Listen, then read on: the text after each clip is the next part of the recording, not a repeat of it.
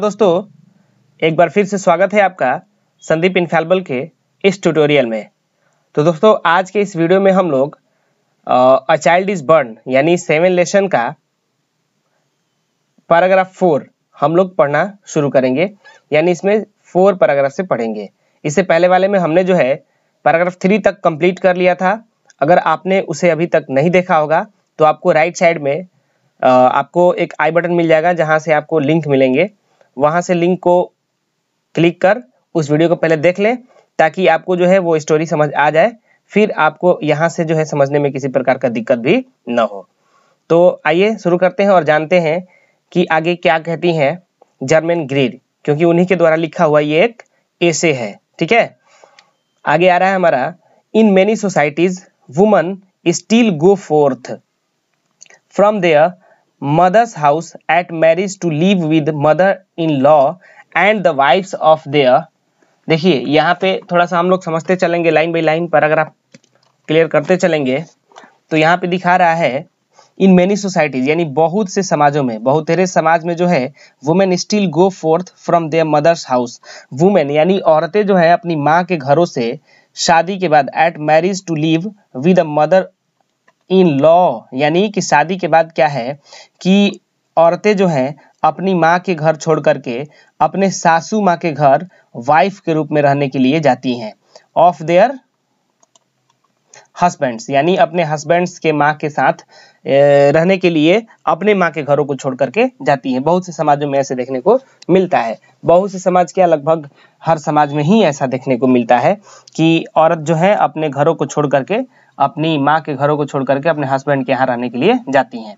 It is a truism of anthropology that such a women do not become members of their new family until they have borne a child यानी यहाँ कहा जा रहा है कि it is a ट्रूइज्म मतलब of anthropology मानव शास्त्रों का, जो मानव शास्त्र है मानव शास्त्र के जानकारों का जो है, ये कहना है या उनका मानना है दैट कि सच वुमेन यानी ये औरत जो शादी के बाद जो दूसरे घरों में जा रही हैं, ये औरत डू नॉट बिकम मेंबर्स यानी वो मेंबर उस घर की नहीं होती हैं of their new family until they have borne child यानी कि जब उनकी शादी होती है, ऐसा मानव शास्त्र लोगों का कहना है कि जब उनकी शादी होती है तो शादी के बाद वो तब तक उस घर की मेंबर नहीं मानी जाती है, जब तक कि their new family until they have borne a child जब तक कि उसे एक बच्चे का जन्म नहीं हो जाता, तब तक से जो है, उस न्यू फैमिली की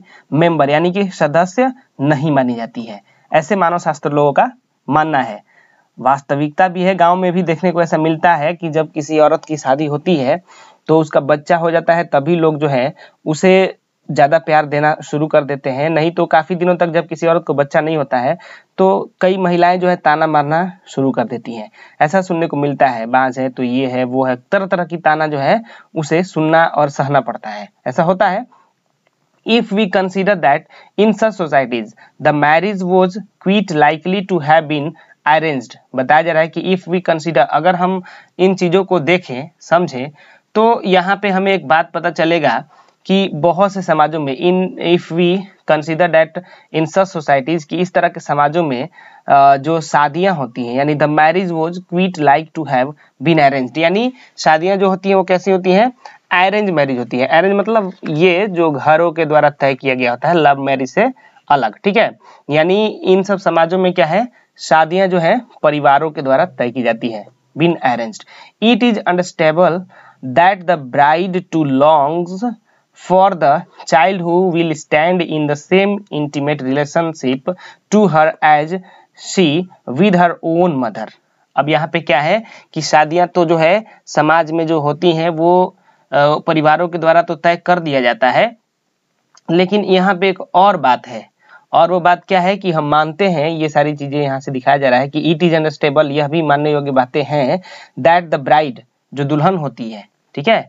जो दुल्हन होती है वो longs for the child who who will stand in the same intimate relationship to her as she with her own mother. यानी कि कहा जा रहा है कि एक माँ के लिए, ठीक है? एक माँ के लिए, यानी एक दुल्हन के लिए कहिए या माँ के लिए कहिए, दुल्हन ही ठीक रहेगा ब्राइड यहाँ पे दिया है ना? तो एक दुल्हन के लिए एक बच्चा होना उतना ही महत्वपूर्ण होता है child who will stand in the same intimate उतना ही महत्वपूर्ण होता है जितना कि वो औरत खुद अपनी माँ के लिए relationship to her mother as she with her own mother यानी कि उतना ही महत्वपूर्ण होता है जितना कि वो खुद अपनी माँ के लिए थी। यानी कि एक दुल्हन को बच्चा होना बहुत ज़रूरी होता है। उतना ही महत्वपूर्ण है जितना कि कभी इसके माँ के लिए भी इसका जन्म होना महत्वपूर्ण था। ठीक है? तो ऐसा जो है, होता है समाज की ये दृष्टिकोण बन चुकी है। तो इस तरह के दृष्टिकोण को लोग जो मानते हैं, सामाजिक विचारधाराओं को लोग मानते हैं तो इसलिए जो है इस महिला को इस सारे दौर से गुजरना पड़ता है। The western interpretation of such modes is that they are backward, cruel and wrong.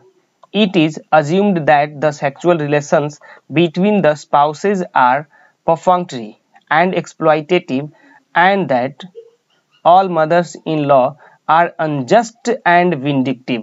कहा जा रहा है कि पश्चिमी दृष्टिकोण, पश्चिम का दृष्टिकोण जो है इससे बिल्कुल भी भिन्न है थोड़ा सा ऊपर आ जाते हैं दिखाते हैं आपको।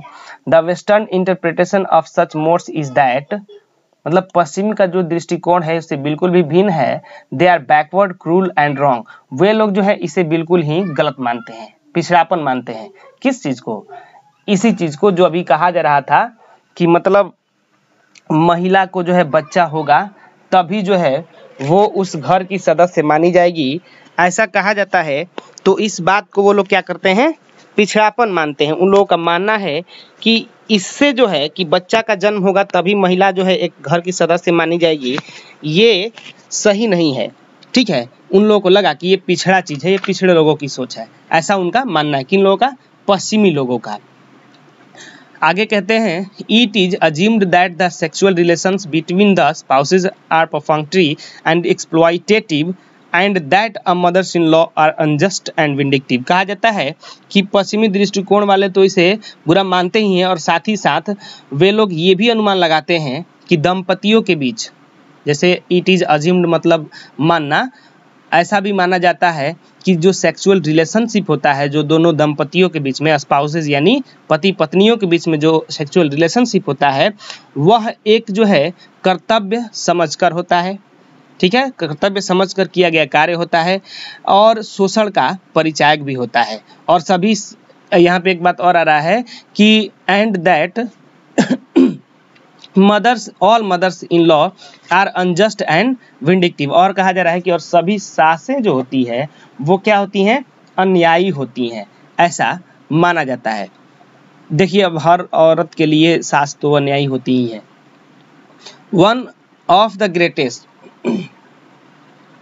difficulties in the way of feminist who are not chauvinistic and want to learn from women who still live within female society is the tendency of those women to withdraw into silent opposition when participating in international uh, थोड़ा सा ये लंबा जा रहा है paragraph का line आगे पढ़ देते हैं फिर लाइन बाई लाइन आपको बताएंगे four are conducted in languages which they cannot speak with fluency women officials of the Sudan's government told me that they had give up going to international conferences बहुत लंबा जा रहा है, थोड़ा सा इसको समझ लेते हैं, नहीं तो ऐसे समझ में भी नहीं आएगा।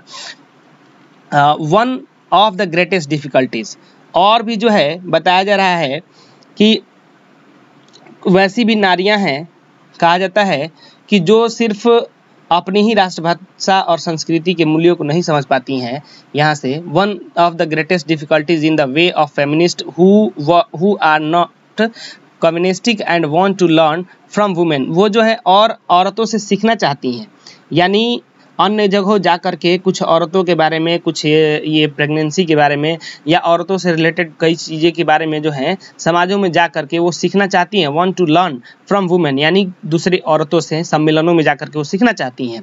Who still live within female society is the tendency of those women to withdraw into silent opposition और इसके लिए जो है वो still live within female society उसके लिए वो फीमेल सोसाइटी में जाती भी हैं और वहाँ पे जहाँ पे आयोजन होता है, वहाँ पे जाती हैं और सीखने की कोशिश करती हैं। Tendency of those women to withdrawal into silent opposition when participating in international जहाँ भी इंटरनेशनल यानी अंतर्राष्ट्रीय सम्मेलन जहाँ भी आयोजन होता है, वहाँ बहुसंख्य स्त्रियाँ जो है वहाँ पे जाती हैं। ठीक है? और वहाँ पे जाकर के उसमें भाग लेती हैं। Fora conducted in languages which they cannot speak with fluency वहाँ पे वो भाग तो लेती हैं। उस सम्मेलन में भाग लेती हैं समझने के लिए, अपने लाइफ को संवारने के लिए, लेकिन एक मूक के रूप में भाग लेती हैं। मूक सहभागी बन करके भाग लेती हैं। मूक सहभागी का मतलब ये हुआ, क्यों? इसलिए क्योंकि जो है they cannot speak with fluency वो बोल नहीं सकती हैं। जो इंटरनेशनल जो सम्मेलन होता है, उसमें भाषाओं का प्रॉब्लम रहता है। जिन भाषा में वो इंटरनेशनल प्रोग्राम होता है तो उस भाषा को या तो अच्छे से समझ नहीं पाती और कुछ समझ भी पाती हैं तो उस भाषा में वो बोल नहीं पाती, जिसके कारण इन्हें बहुत परेशानी होता। उन सम्मेलनों में भाग लेना भी। Women officials of the Sudan government told me that they had giving up going to international conferences कहा जाता है कि यहाँ पे जो है, एक सूडानी सुडान, यहाँ पे देखिए सुडानीज दिया हुआ है। सुडानीज गवर्नमेंट होता है, ठीक है? सुडानीज गवर्नमेंट है तो कहा जा रहा है कि सूडानी एक महिला भी थी, सुडानी सरकार जो गवर्नमेंट है यहाँ पे तो सुडानी गवर्नमेंट की एक महिला थी, महिला पदाधिकारी थी जो कि कहा था, उसने कहा था, या कही थी, कह सकते हैं। उसका ये कहना था कि अंतर्राष्ट्रीय महिला सम्मेलनों में जो है वो जाना बंद कर दी है। क्या कर दी है? Even though the strips were a tremendous treat because they were tried, tired of being told about their own lives instead of being consulted उसने जो है कहा कि उसने सुडानी जो गवर्नमेंट की एक महिला है, उन्होंने कहा कि उसने जो है इस तरह के इंटरनेशनल या अंतर्राष्ट्रीय सम्मेलनों में कॉन्फ्रेंसेज में जो है जाना उसने गिव अप कर दी है। गिव अप मतलब छोड़ना बंद कर देना। Give up going to international give up मतलब छोड़ देना गोइंग टू यानी जाना इंटरनेशनल कॉन्फ्रेंसेज में जाना उसने छोड़ दी है। इसलिए क्योंकि उसे जो है, उस भाषा का पूरा अच्छे तरह से ज्ञान नहीं रहता, या वह अपने बातों को वहाँ पे अच्छे से रख नहीं पाती, जो विशेष चर्चा वहाँ पे होता, उसको या तो अच्छे से समझ नहीं पाती, या अपनी बातों को वहाँ पे रख नहीं पाती। Told about their own lives instead of being consulted यानी वहाँ पे वह सलाह नहीं ले सकती। इसलिए उसे लगा कि ये बेकार है तो इसलिए वो जाना भी वहाँ पे छोड़ दी। ठीक है? अगला पैराग्राफ देखेंगे हम लोग। Thus we in the West would regard it as outrageous that a woman could lose her own name and become known as the mother of her first born कहा जाता है कि दस इस प्रकार, पश्चिम में जो है वेस्ट वुड रिगार्ड इट पश्चिमी वाले लोग जो है, इसको थोड़ा दुखद भी मानते हैं। वो इसलिए और वो इस चीज़ के लिए दुखद बात मानते हैं। It is as outrageous that women could lose कि एक औरत, वो लोग जो है इस बात से दुखी होते हैं, पश्चिमी लोग, कि एक औरत जो है, जब उसके बच्चे का जन्म होता है women could lose her own name तो जब उसके बच्चे का जन्म होता है तो वो अपना नाम जो है खो देती है and become known as the mother of her first born और वह जो है अपने पहले बच्चे के जो जन्म होता है, उसी के नाम से वो जाने जाने लगती है। यानी उसको, उसके बच्चे के नाम से जाना जाता है, उसका खुद का नाम जो है, लुप्त हो जाता है।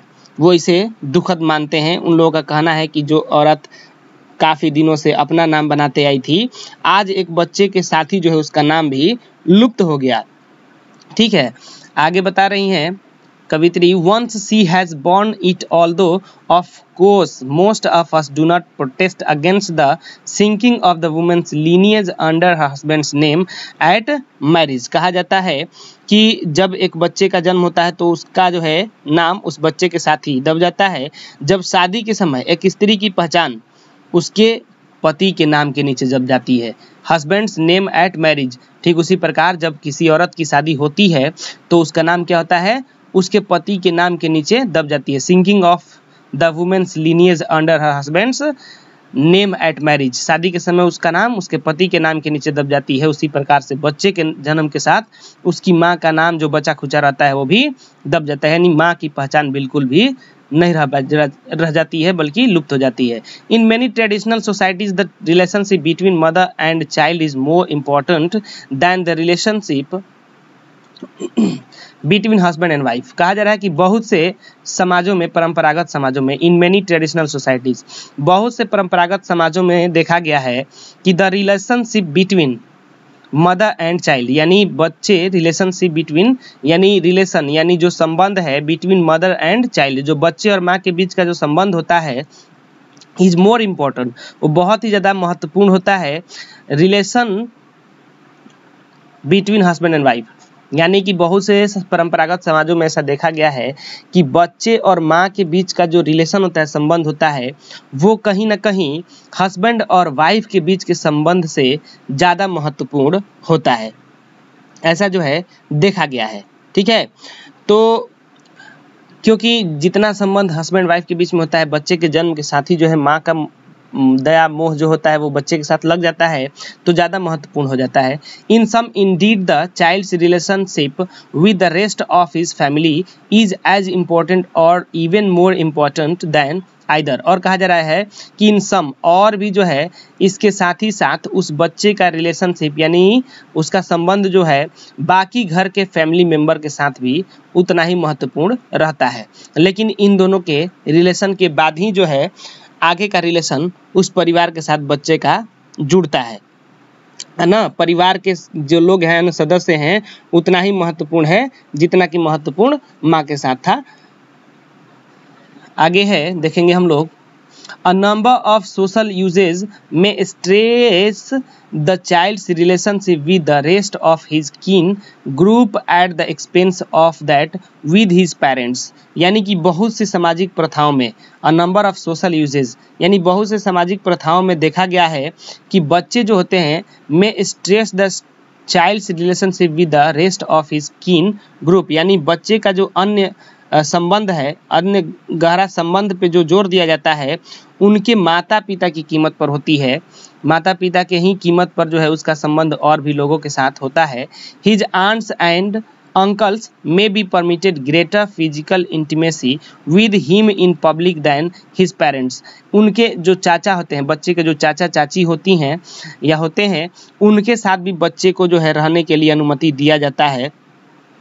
चाचा चाची के साथ जो है, रहने की अनुमति होती है। खुले रूप से जो है माँ बाप से ज़्यादा उस, उनका जो है, शारीरिक घनिष्ठता होती है। मतलब देखा जाए तो ये अंकल और आंटी जो होते हैं, वो माँ बाप से भी ज़्यादा घनिष्ठता बच्चे के साथ होती है, क्योंकि ये ज़्यादातर जो है, बच्चे को घुमाने के लिए बाहर लिए जाते हैं, घुमाते हैं और उसको टॉफ़ी वगैरह भी खरीदते हैं। तो इस तरह से चाचा चाची और दादा जो होंगे घरों में, उनके साथ भी बच्चे का घनिष्ठ संबंध होता है।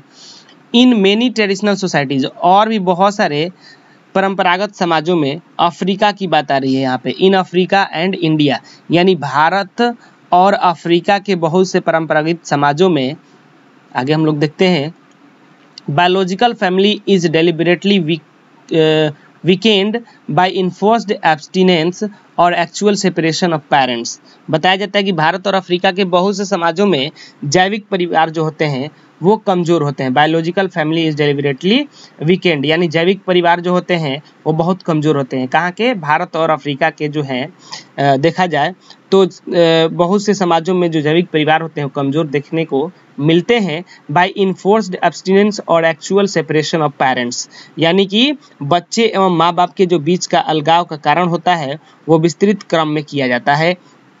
In order to strengthen the extended family the children are not born at them sorry within होना चाहिए था, ना of the parents but in response to a broader pressure pressure sorry pressure from the whole group यानी कि बच्चे के जो माह बच्चे का जो जन्म होता है यानी यहाँ अब कहा जा रहा है कि family thus children are not born at the we यहाँ पे जो है, थोड़ा कुछ गड़बड़ लग रहा है। यहाँ पे थोड़ा ध्यान देंगे आप लोग। यानी जो बच्चे का जो जन्म होता है, वो ऐसा लग रहा है, ऐसा कहा जा रहा है ये कवित्री के द्वारा, कि ऐसा लगता है कि उसके पेरेंट्स के चाह से नहीं पेरेंट्स की इच्छा से नहीं but in response to a broader pressure from the whole group यानी पूरे होल ग्रुप यानी पूरे फैमिली के प्रेशर के कारण। बच्चे का जन्म जो है, हो जाता है। यानी जितना फ़िक्र माँ बाप को नहीं होता है, बच्चे के हस्बैंड वाइफ को नहीं होता है तो उससे ज़्यादा परिवार वालों को फ़िक्र रहता है कि बच्चा नहीं हुआ तो ये वो लोग बार बार बोलते रहते हैं, जिसके कारण जो है, बच्चे का जन्म हो जाता है। ठीक है? तो ये जो है, एक बच्चे का जन्म जितना वो हस्बैंड वाइफ नहीं चाहते हैं, उससे कहीं ज़्यादा जो है, परिवार वालों की इच्छा होती है कि एक बच्चे का जन्म जो हो।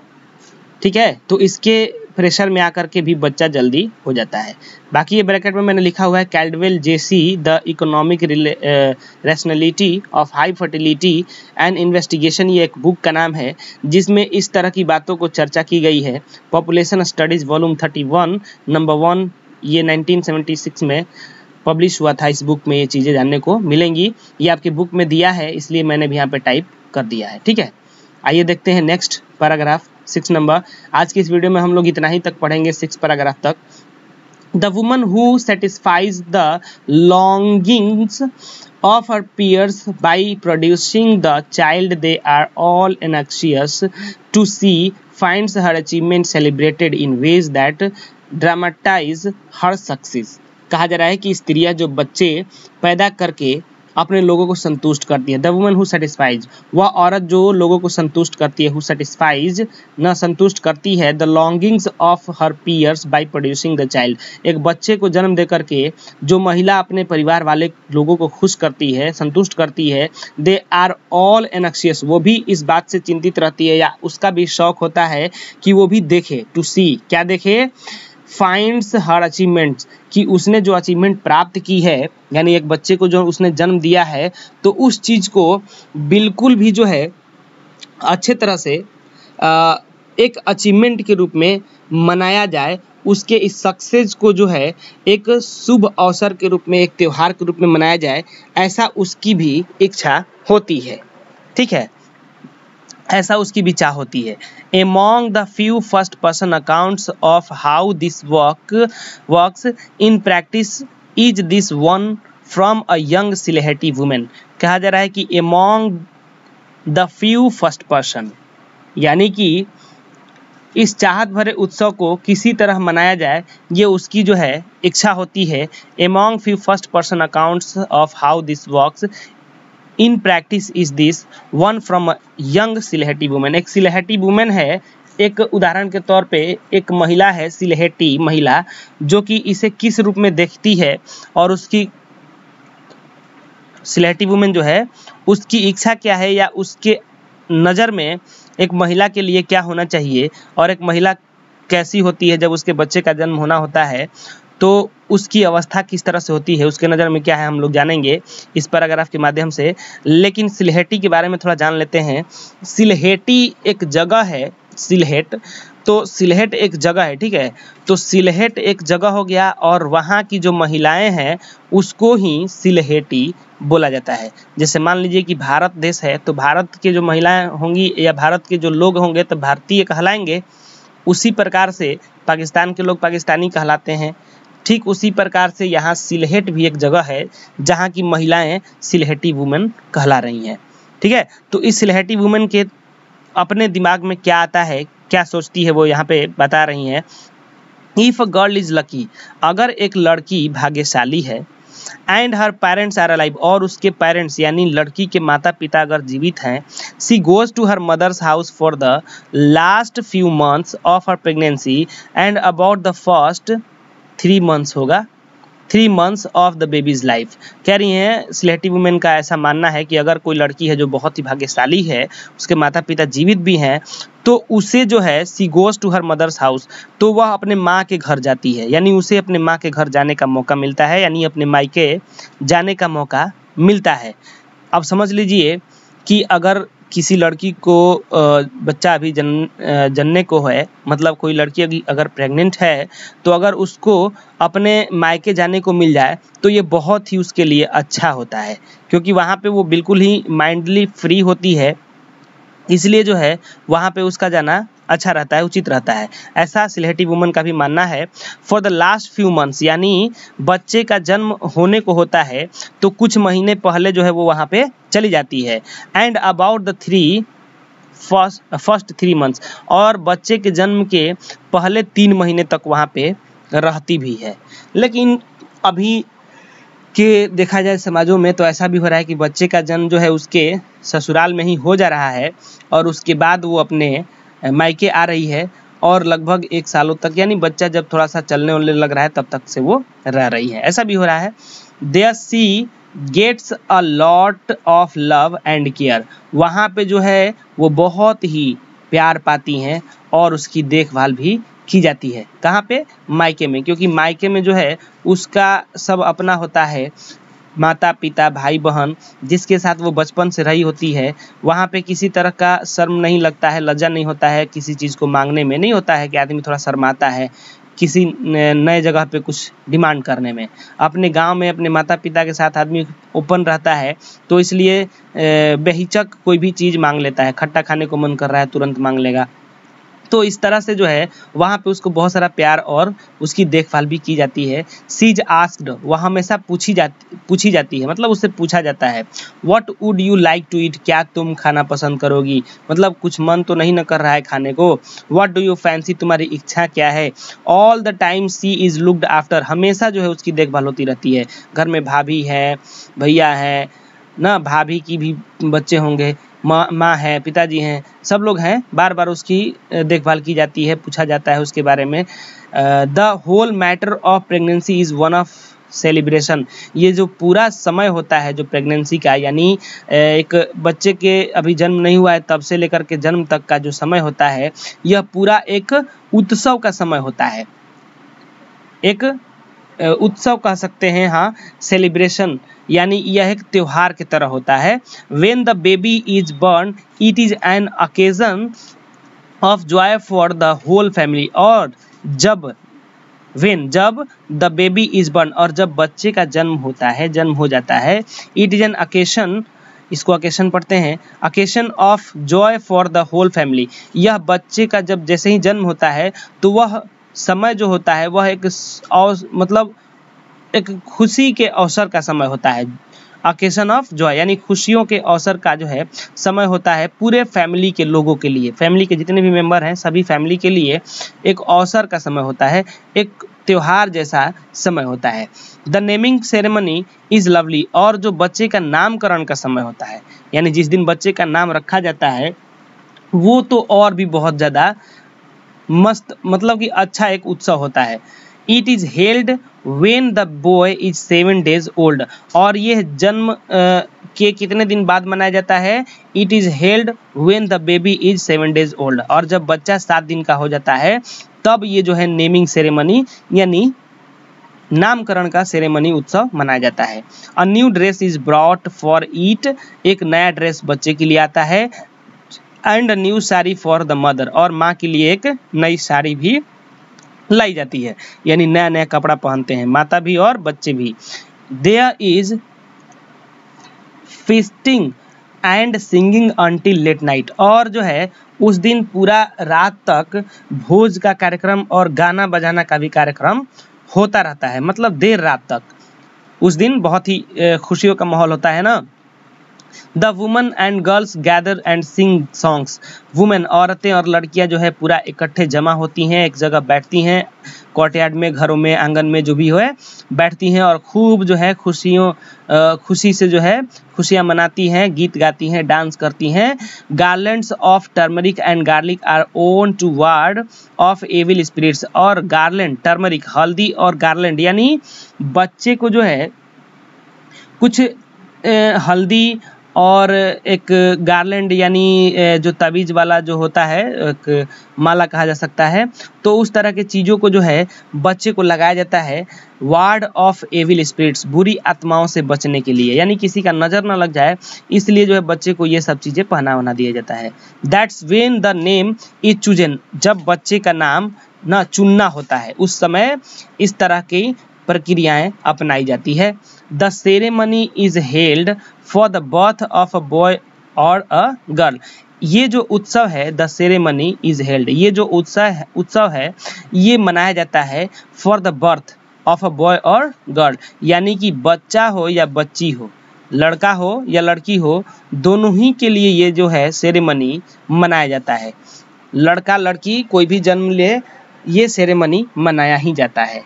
Naming ceremony of course Kajra of course it is considerable considered better to have a boy हालाँकि ये भी माना जाता है कि अगर एक बच्चा होता है तो वो बहुत ही ज़्यादा अच्छा मानते हैं लोग। नहीं होता है कि हर किसी की ख्वाहिश होती है कि एक लड़का का जन्म हो जाता।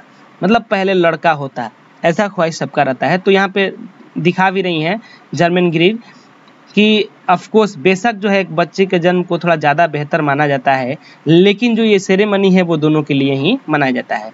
बट लेकिन the birth of a girl is celebrated with the same joy by the women in the family लेकिन एक बच्ची का जन्म but the birth of a girl लेकिन एक बच्ची के जन्म को ही उतना ही धूमधाम से is celebrated with the same joy उतना ही धूमधाम से, उतना ही खुशी से मनाया जाता है औरतों के द्वारा, पूरे परिवार के द्वारा, जितना कि एक लड़के के लिए मनाया जाता है। ठीक है? कोई भी अंतर नहीं रखा जा रहा है। We sit together eating paan and singing कह रही हैं कवि जी कि हम लोग इस, ऐसे अवसर पे, इस तरह के अवसर पे साथ में बैठते हैं, पान खाते हैं, जो पान खाने वाली हैं महिलाएँ, पान खाते हैं, गीत भी गाते हैं। Some of us might be हम में से कुछ कुछ जो है यंग अनमेरिड गर्ल्स कुछ जो है हम में से क्या होती हैं?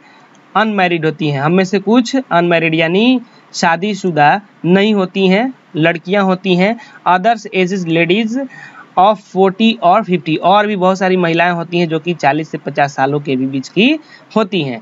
There are so many jokes बहुत ही अलग अलग तरीके की जोक्स होते हैं। सो मच लाफ्टर बहुत ही हँसते भी हैं लोग जोक होगा तो हंसेंगे ही। People look so funny eating paan and singing उस समय, जिस समय ये फ़ंक्शन चल रहा होता है, उस समय लोग बिल्कुल ही फनी दिखाई पड़ते हैं, एकदम जोकर जैसे लगते हैं। वो इसलिए क्योंकि सभी लोग जो है पान उन खाए रहते हैं तो इसलिए जो है, जब वो हँसते होंगे तो उनका दांत जो है पान से रंगा हुआ दिख जाता होगा तो इसलिए वो फनी भी लगते हैं। ठीक है? कह रही हैं कि बिल्कुल ही फनी दिखते हैं। The men don't take much part men यानी पुरुष। पुरुष लोग जो है इसमें ज़्यादा भाग नहीं लेते हैं। They may come and have a look at the baby but the singing the gathering together at night it is all women the songs are simple songs which are rarely written down कह रही हैं, बता रही हैं कवित्री कि man जो है the men don't take much part जो पुरुष वर्ग के लोग हैं, वो इसमें ज़्यादा भाग नहीं लेते हैं। देख में कम वो आते तो हैं। एंड हैव अ लुक और बच्चे को एक नज़र देखते हैं। एट द बेबी फिर वो चले जाते हैं। लेकिन बट द सिंगिंग लेकिन जो गाने वाली जो बात है जो गा, गाना बजाना जो होता है जो भीड़ the gathering together at night और जो भीड़ जमात लगा रहता है वो रात देर तक चलता रहता है। It is all women women the songs are simple songs which are rarely written down और वो जो प्रोग्राम है, जो सेलिब्रेशन है, वो चलता रहता है। पुरुष लोग तो आते हैं, देखते हैं, चले जाते हैं बच्चे को, लेकिन महिलाओं के द्वारा ये प्रोग्राम जो है, गीत जो है, गाया जाता रहता है और देर रात तक यह प्रोग्राम होता रहता है। और गीत भी कैसा? Which are rarely written down और गीत भी कैसा होता है? जो गाती हैं महिलाएँ उस दौरान, वो गीत शायद ही कभी लिखा गया हो, ऐसा गीत होता है। They are about the lifes of women in Bengal कहा जा रहा है कि यही जो है, बंगाली महिलाओं के जीवन के बारे में बातें हैं। यानी बंगाली जो महिलाएँ होती हैं, उनके यहाँ भी इसी तरह की अवसरों को मनाया जाता है। आगे आपकी बुक में थोड़ा सा दिया है Wilson Amrit finding a voice Asian women in Britain London ये भी एक बुक है, जिसके बुक में जो है इस तरह की चीज़ों को व्याख्या किया गया है। यानी इस उत्सव के बारे में व्याख्या किया गया है पेज नंबर ट्वेंटी टू में। अगर आपको ये बुक मिल जाए कभी तो आप पेज नंबर ट्वेंटी टू निकालिएगा तो इस तरह के उत्सवों के बारे में उसमें व्याख्या किया गया है, ठीक है? तो ये इस हम लोग वीडियो में फोर से लेकर के, ठीक है? फोर से लेकर के थ्री पैराग्राफ सिक्स तक सॉरी सिक्स तक हमने देख लिया है कंप्लीट कर लिया है। आगे वाला जो हमारा एक और वीडियो आएगा, जो कि लेक्चर थ्री होगा, ये लेक्चर टू है, जिसमें कि हम लोग इस चैप्टर को कंप्लीट कर लेंगे, ठीक है? तब तक से आप जो है इसे देख करके पूरा तैयार हो लें। इसको याद रख लें कि पूरा स्टोरी जो था, अब तक क्या क्या था? पूरा प्रैक्टिस कर ले, पिछले वाले वीडियो को भी देख करके, इसको भी, ताकि आगे वाला जो मैं बनाऊँ तो आपको समझने में किसी भी तरह का दिक्कत ना हो। ठीक है? तो मिलते हैं नेक्स्ट वीडियो में लेक्चर नंबर थ्री के साथ ओके